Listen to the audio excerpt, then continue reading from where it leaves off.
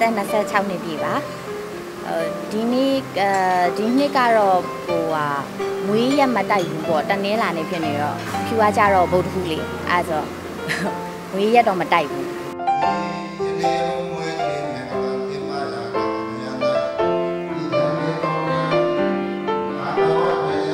ပွဲလန်းတဲ့ပင်နေအဲ့လိုမျိုးလောက်အဲ့လိုမျိုးနည်းနည်းအဲ့လိုကြီးကြီးအဲ့လိုလောက်ရတာကကြတော့တိတ်ပြီးတော့ကိုနဲ့ကလေတိတ်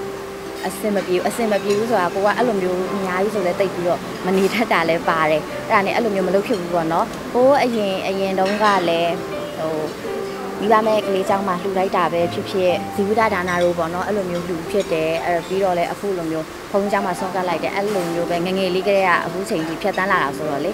ဒါကအသားကျနေပြီဟုတ်အဲ့ဒါနဲ့ထွေထွေထူးထူးအဲ့လိုမျိုးမလုပ်ဖြစ်တာပေါ့နော်ပြီးတော့ညကြလို့ရှိရင်တော့ဟိုအိမ်ရမောင်နှမတွေနဲ့ဟိုစီသွား ဗတိကိကြီးပဲဒါပဲအိမ်မှာပဲ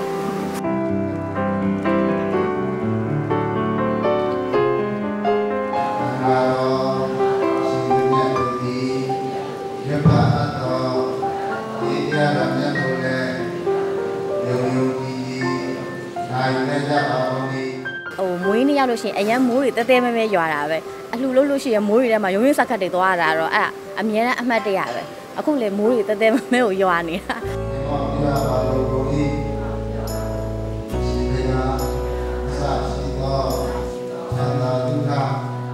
surprise birthday လက်ဆောင်ကတော့တငယ်ချင်းညီကပဲလုပ်ပေးတယ်အဲပြီးတော့ဟို we love အဖွဲ့ပေါ့အဲ surprise အဲအဲ့လိုလေးပဲ